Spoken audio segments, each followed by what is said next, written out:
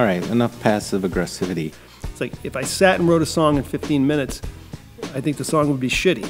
I'm not Paul McCartney who, you know, wakes up and writes yesterday, you know, in 20 minutes or whatever. Right. Or- Well, no, I make my hair appointments well in advance. So I, I- knew I you probably you could've came guessed. up. I, I'm getting chills right now because I mean it really is a powerful song and it's powerful because of her. Right. You're a mean, dark person. I did not know this necessarily before I invited you in here. You said that and I was immediately offended by that. kind of rinky dink operation. Hey, I never promised I was good at this.